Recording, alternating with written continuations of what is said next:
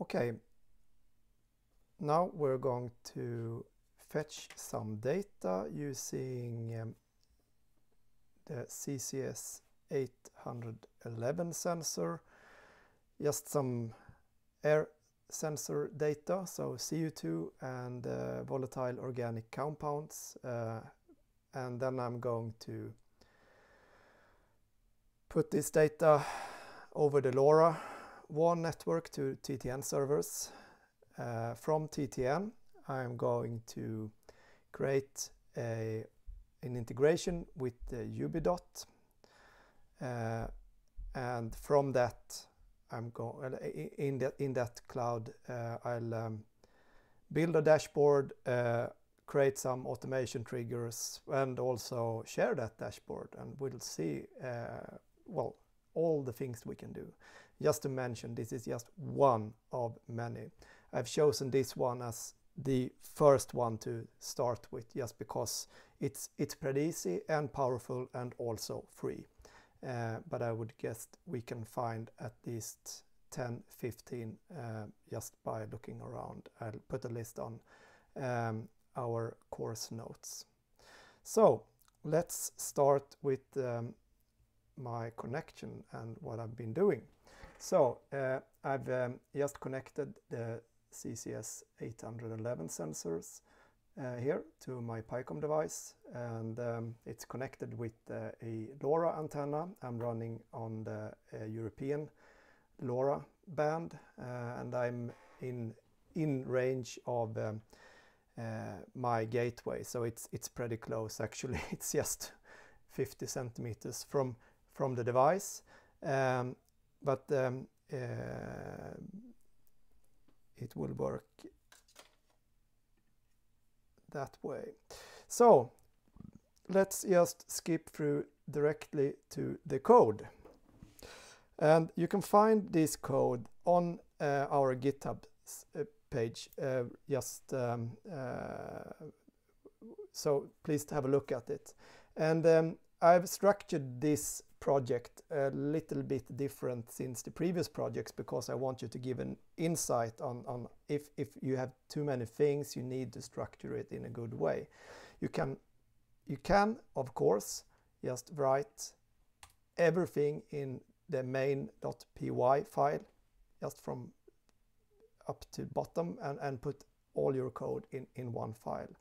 But um, if you work with a lot of libraries, if you do a lot of things, and if you try a lot of different projects and sensors, you might want to structure it in a better way. So I'm not saying that this is the way to do it. Uh, it you, you might find a better way. Uh, I'm not, not saying this is the absolute best way, just to make sure. But this is just one way of structuring your code for a very small project like this. And um, I'm just going to show you, if you look at this main.py file, this file, it's what you see here is all uh, in, in, the, in this file. And um, I'm first importing um, a library which I've created called uh, CCS read. We'll have a look at that. And then I'm importing LoRa uh, I'm importing struct, which is something that we will be using when we um, send the data. We are, I'm going to talk about uh, uh, how we package uh, our bytes to the, um, uh, for, uh, before we send it away. And then just the time library for timing. And then you can see that I have one function call here, connect LoRa. So as you see here, I imported something called LoRa here, and then I have LoRa.connect LoRa. Okay, so let's start there and just see what happens. When I import LoRa, it actually is this file which I'm importing. And you might be familiar with this file. We, if you have worked with the TTN examples before, this is pretty straightforward. It's more or less the same code as is in the basic TTN examples uh, you can find in, uh, in um, at the PyCom uh, website and also in the other examples which we have been talking before. So we're in here just imp importing the LoRa uh, from the network, socket, time, ubinascii keys and PyCom.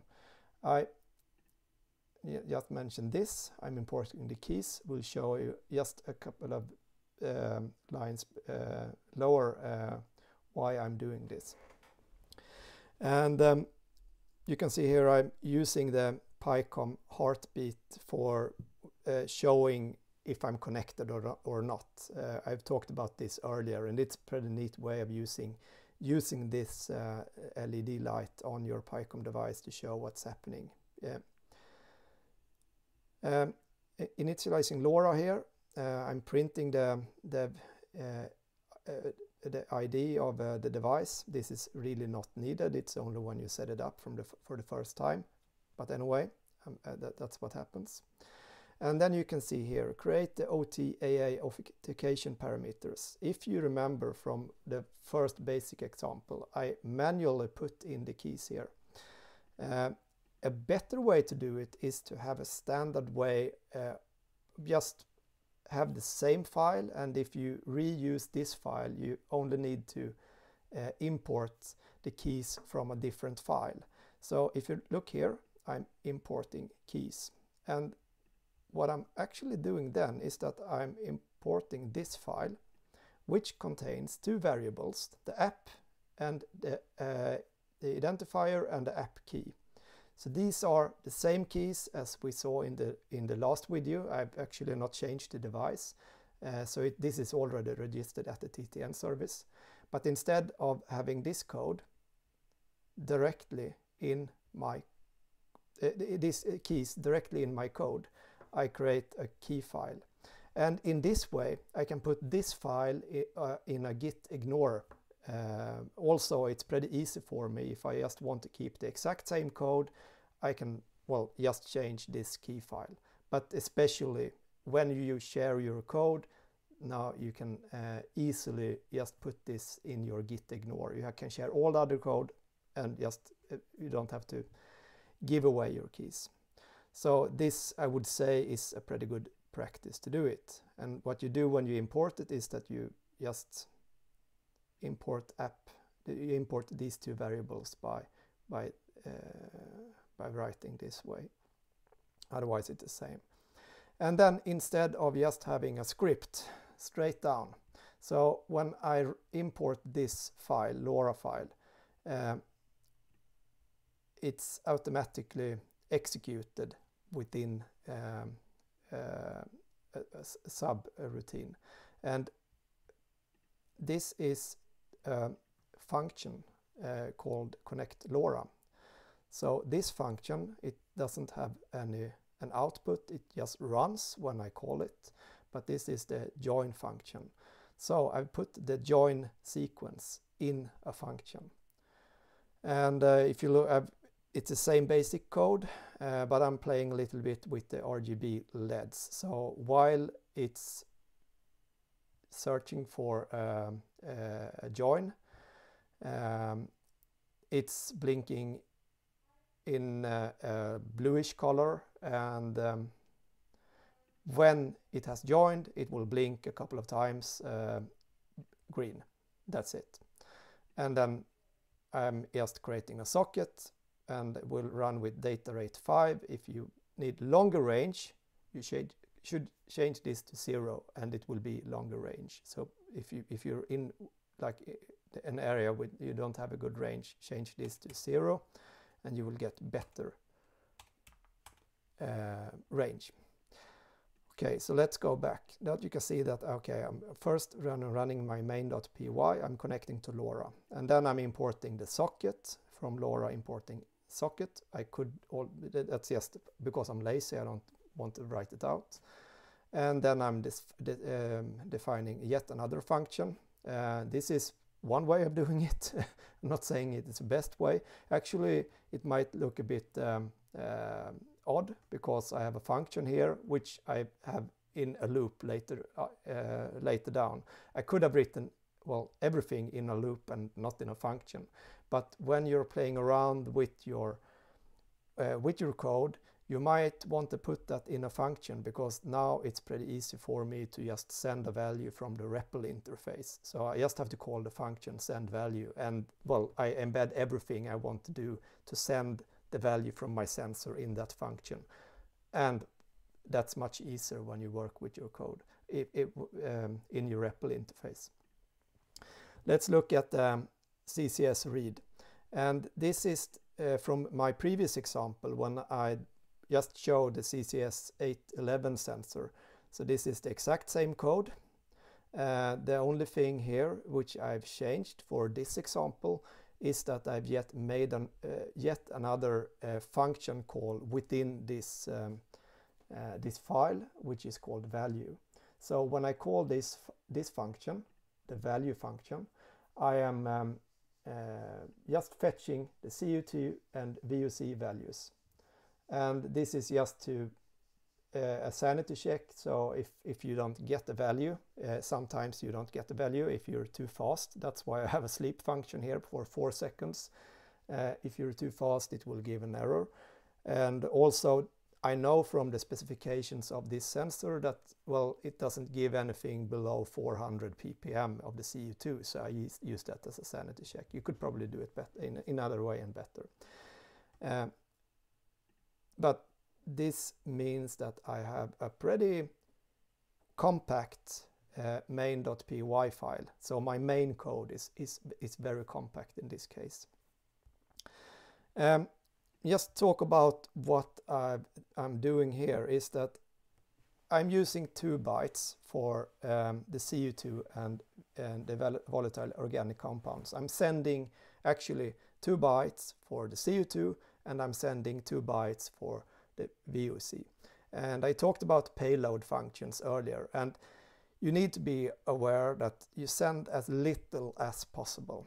And by using two bytes, uh, you have a lot of uh, resolution. Uh, you, you, don't, well, in this case, uh, by reading the specifications of, of the, this device, this gives a CO2 value between 400 ppm up to 8892 ppm. So that's the range. Um, if I'm using uh, one byte, I could have a resolution of, that's a resolution of 256, that's the range.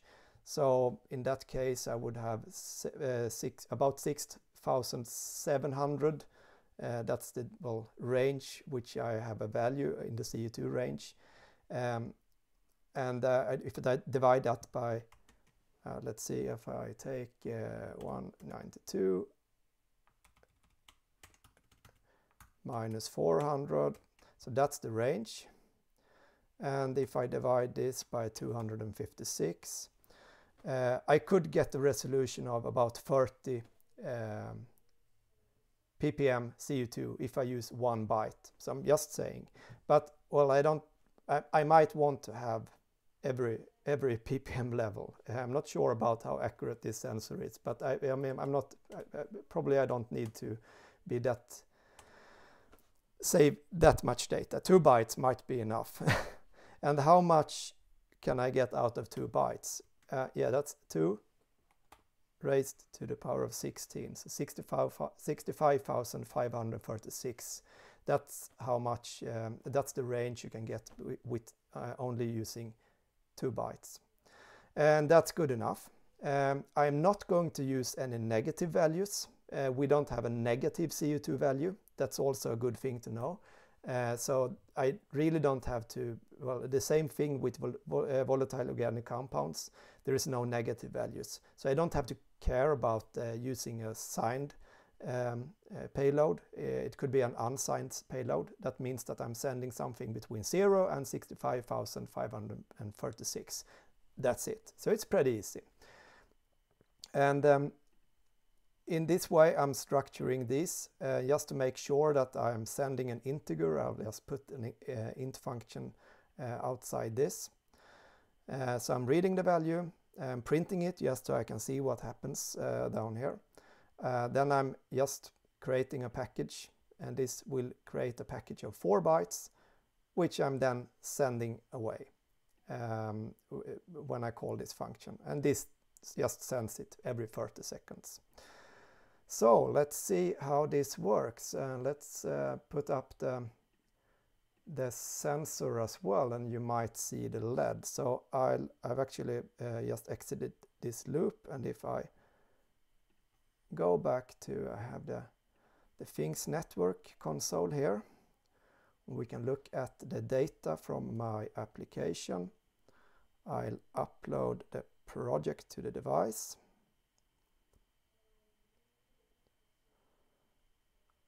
and hopefully it will work. So not yet joined and you can see that there is a bluish light here uh, which is blinking and now it's blinking green. Great. this means I've joined and you see that I'm now sending data 403 in CO2 and the volatile organic compounds are zero and that's good. Um, so and we can also see the payload. Uh, the payload here is it's, four bytes, so uh, exactly as I said.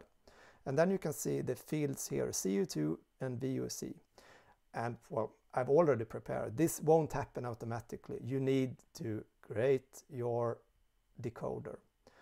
And I've already created my decoder. Um, and this, you can see the decoder. You can find it on GitHub as well. It's in decoder uh, TTN uh, JavaScript. And this decoder will obviously only work for this exact application. So, I mean, if, if, it, it's not a decoder that works for everything. So when you're sending your data, you have to define what resolution do I need for the data, how much, well, how often would I, do I need to send data? And then you write uh, in the decoder of, um, in, in TTN, that's where you, the, the, the bytes come in and you actually transform these bytes to something that you can have readable by something else. And in this case, we can see that, yeah, it, it gives an object, it's, it will come out as a JSON object here with CO2 411 and VOC 1. And um, I'll just try to see if something happens when I have this sensor very close to my mouth. It will um, um, it will probably be much higher. So let's see what happens. I'll brief on it and, and 30 seconds, every 30 seconds it will update. I could have done this manually, but this is more exciting. Um, and the, obviously I've already tested this, um, but um, the range is, goes up to about 8000 uh, ppms. Oh, yeah, let's see. I got a result here, 1,527 and VOC 190. Well, probably, um, uh, yeah, uh, if, if this would have happened just in an indoor atmosphere without me briefing on it, that would be uh, an indication of a pretty poor air quality. And uh, so uh, we, we, have, we can see that this seems to be working now. And obviously you can send whatever sensor data you want. It's just a matter of setting up what you want to be sending out. But the thing here is that now my data only ends up at the TTN servers and not, not only, but well, you, you don't really have any use of having your data only at this place. Uh, so we need to take the data and put it somewhere else.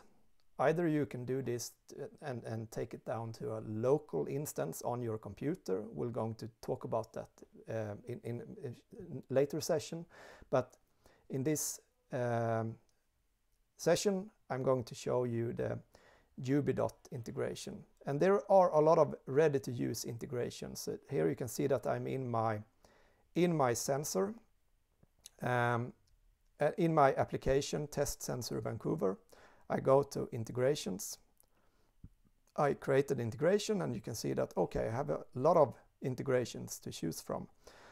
And you can use, for instance, EFT, uh, IFTTT, which is if, then, then, that, um, to create all kinds of uh, triggers. You have the HTTP integration, uh, you can create webhooks. There is Open Sensors, My Devices, Tag.io, ThingSpeak, Ubidots, Um, everything, all things talk, and uh, well, there's a data storage and Collos. Um, I, I, must be honest, I haven't tried them all. Um, I'm happy to hear your experiences, but we'll start with something uh, that I know works pretty well and is free. And so, Ubidots. Um, let's just create, you have to create your first uh, your integration and uh, create the, the, process ID.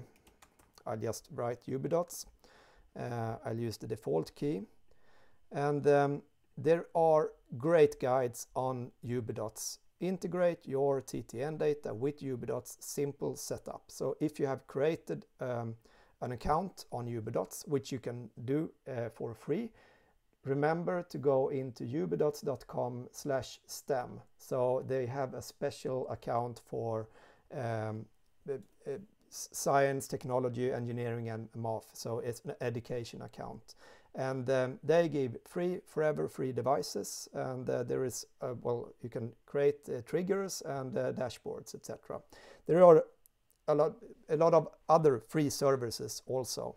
Uh, but I must mention this is obviously just for development. If you want to scale your idea to something else, well, you have to pay.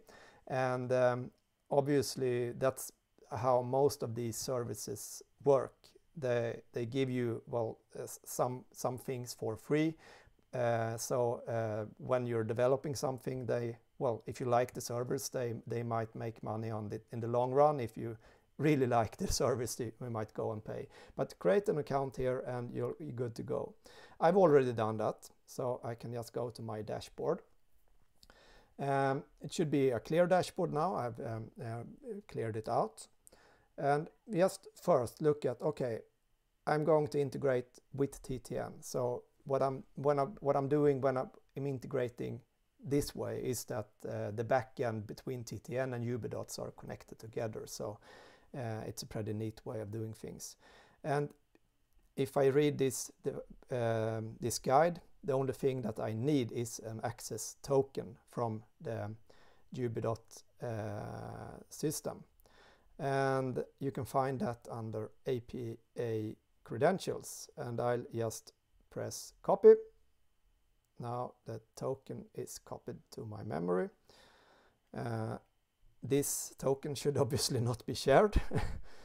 um, and that is how easy this is. Now we have an integration with Ubidots. It's up and running. And we are already pushing data into TTN. So if everything is working, I hope we'll be able to automatically see something showing up here. I'll go to my devices and voila, a few seconds ago you see something popped up here. And this is just my device ID. Uh, I can rename it obviously. Press this one. I have two variables here, CO2 and VOC. That's great. And this is now being pushed from my device over the LoRa network up to the TTN server and from the TTN server to Ubidots servers. So uh, it's a long way for the data. Uh, and as I'm using the European uh, servers, uh, it's um, most likely traveling all around the world, at least at least once, I guess. um, but it, it seems to be working. Um, so I can play around. There's a lot of things. I can press this data and um, it's, as I speak, it's sending every 30 seconds now. So it, it will continue to just fill in. I can, I can go in, I can export my data and such. Uh, but just uh, let's go directly to a dashboard um, because uh, that's a pretty neat way of um, um of um, showing your data. And I think that's what you have in mind. And well, um, many of you have projects which are, uh, we, well, you need to create a dashboard. So let's create a dashboard, add dashboard. And uh, well, I'm, well, I'll just write my air quality dashboard. That's a good. And the last 24 hours, that's okay. There is a lot of settings here. You can, well, uh, do a lot of settings. Screen size, floating widgets, etc, etc. I'll just let it be. And now I have my dashboard. And now I'm going to create a new widget. And this could be a lot of things. So you can put maps here, you could put pie charts, well, line charts, etc. Uh, but in this way, I, I want a line chart. And I want this to display CO2. Uh, and well, just add a variable and you can see here I have my device here.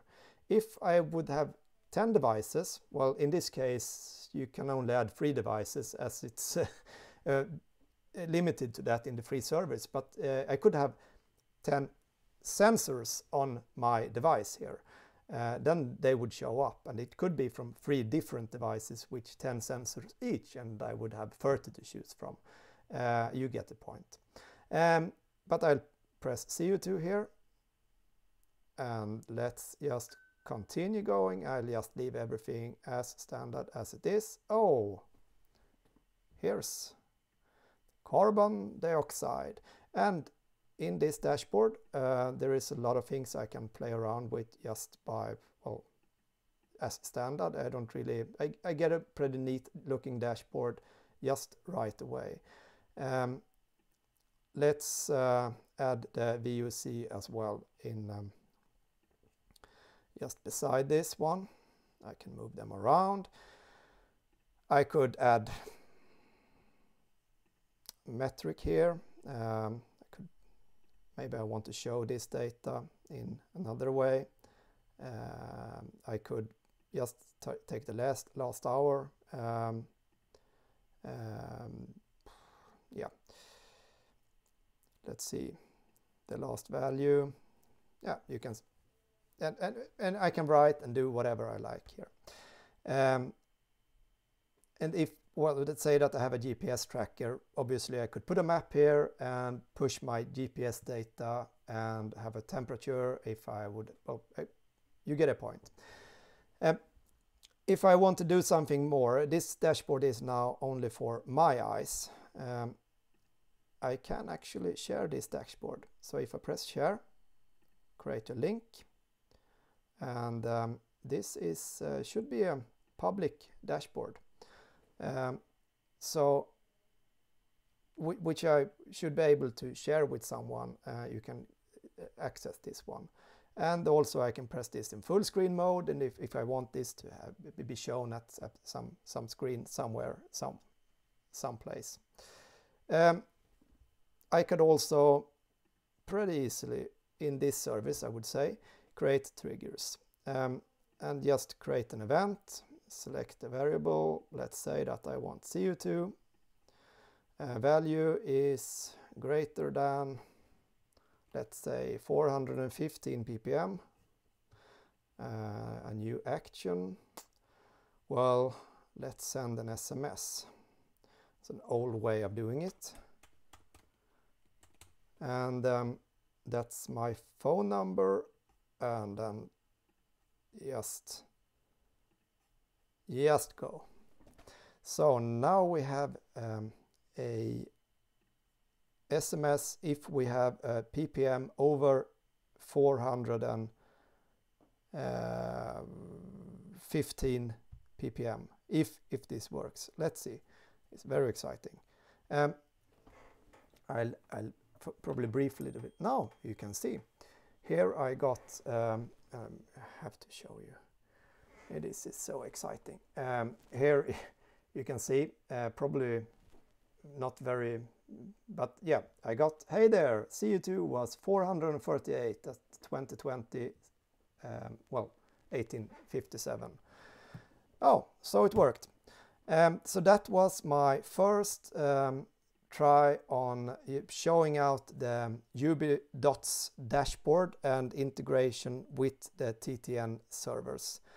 Uh, you can push data to Ubidots uh, directly over uh, Wi-Fi. You don't have to go and pass uh, via the TTN servers. Uh, there are other ways also from you can create webhooks. Uh, so instead of using the integration which I showed you now, you can create a webhook um, which pushes the data into the Ubidots.